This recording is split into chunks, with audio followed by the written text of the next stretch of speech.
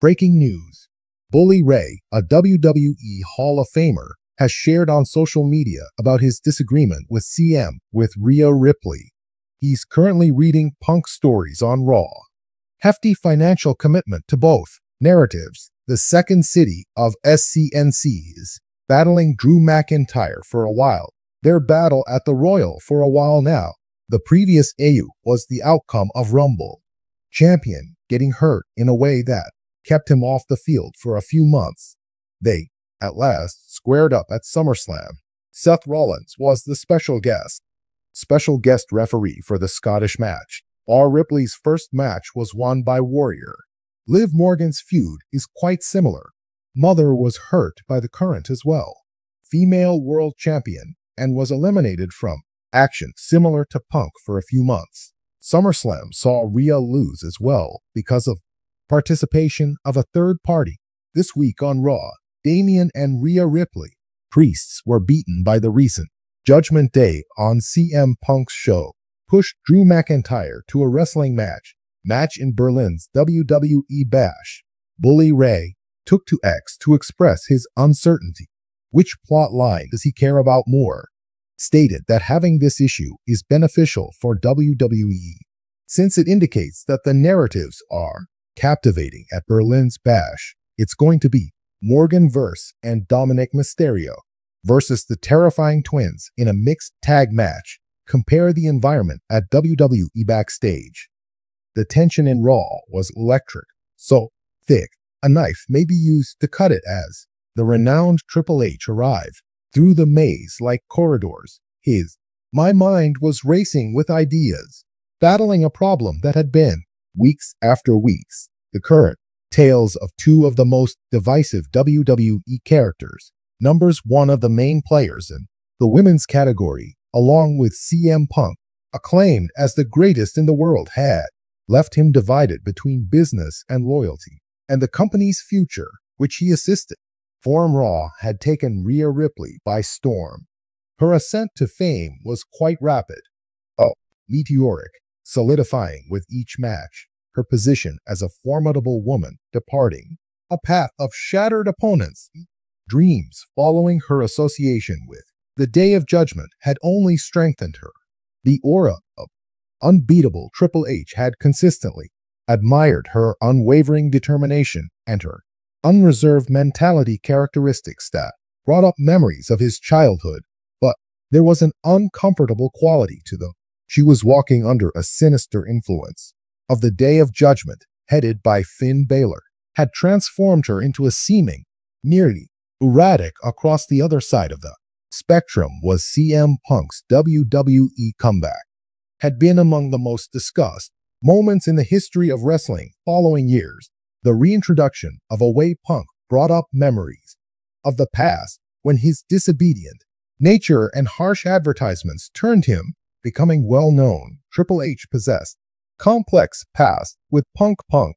The relationship had never been easy, characterized by ego conflicts, ideas, but Triple H was unable to refute the influence of Punk on the field or his the capacity to captivate a crowd, but as as much as he valued the legacy of Punk, he was aware that Punk tended to cause his present state of anarchy wherever he went. Article on Raw was not an anomaly. The lockbox.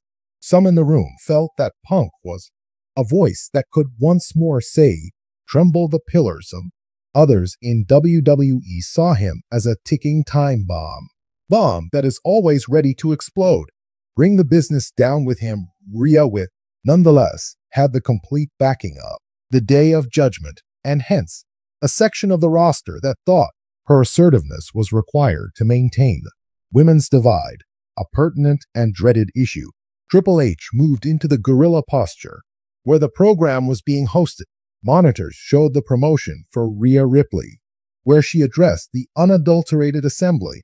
Her tone and words were acerbic, threatening, she revealed her intentions to destroy everyone who attempted to oppose her. Rule and the nature of the day of judgment, invincible. There was a mixture of cheers and alcohol, however. It was evident that Rio was a formidable opponent, as Triple H couldn't help but watch. But feel a mixture of pride and worry. Rio came from the NXT framework. Having raised her and watched her grow, validation of his was listed on the main roster. Labor, but the surrounding darkness, the impact of Judgment Day on her, concerned him since he was aware of them. He was afraid of what power could do to someone, that Rhea could become lost in the procedure immediately after Rhea's promotional.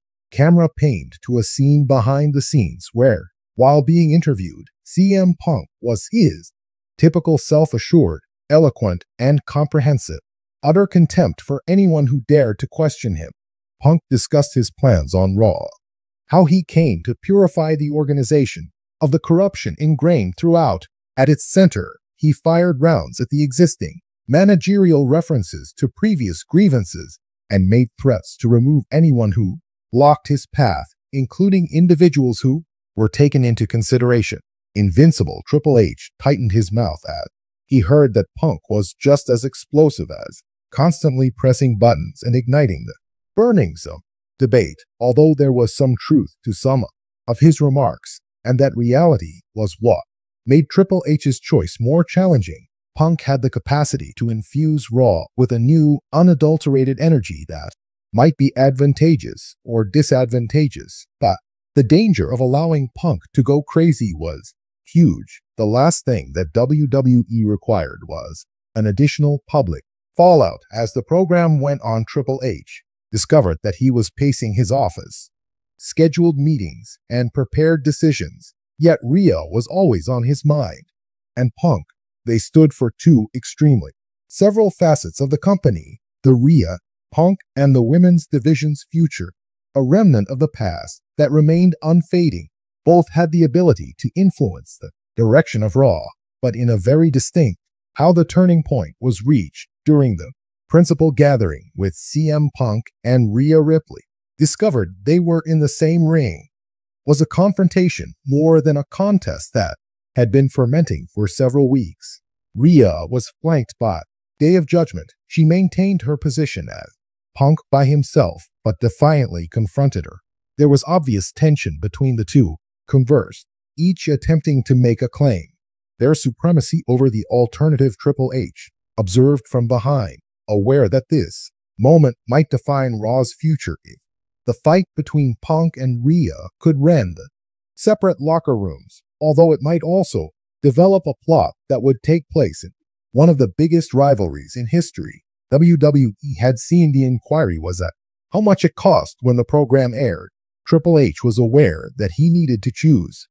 He held the power to decide Raw's fate. May agreed to Rhea's backing of her, supremacy, and the judgment's ascent.